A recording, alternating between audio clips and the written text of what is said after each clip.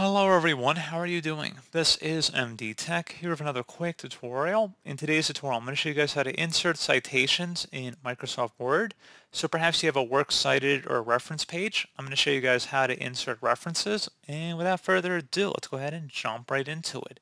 So all you have to do is select the References tab, and then where it says Citations and Bibliography, select the style, so whether you're using APA or MLA formatting.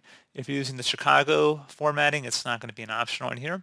But anyway, select where it says Insert Citation, select Add New Source, and then you just would go ahead and insert all the relevant information. And when you selected OK, it would create a works cited entry for you.